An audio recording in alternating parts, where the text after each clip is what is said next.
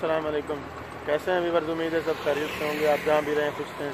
मेरी आपसे यही रिक्वेस्ट होती है, आप मेरा चैनल सब्सक्राइब कर दें और बेल आइकन को लाजमी दबाएँ। नाम दोनों बाइक पर थे तो मैंने रस्ते में मोटरसाइकिल जो है, वो थोड़ी स्लो की है तो मैं कॉल पे बिज़ी था, मुझे पता ही नहीं चला।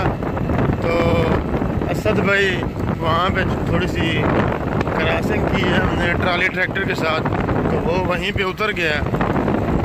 दूर जाके मैंने देखा, मैंने कहा, मेरे पीछे असद था। देखा तो वो पीछे बैठा ही नहीं था। फिर मैंने उसको कॉल किए कि कहाँ? तो वो मुझे कहता है कि मैं तो रास्ते में उतर गया हूँ, जहाँ पे क्रॉसिंग की है। मैं बड़ा परेशान हुआ। मैंने यार ये ये क्या हो गया? भाई, मुझे पता ही नहीं चला।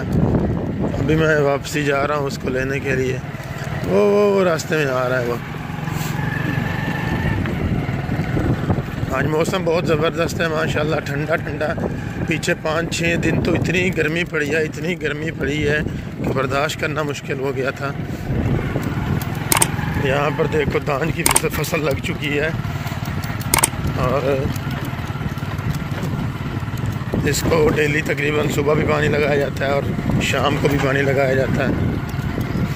ये असद साहब आ रहे हैं जी।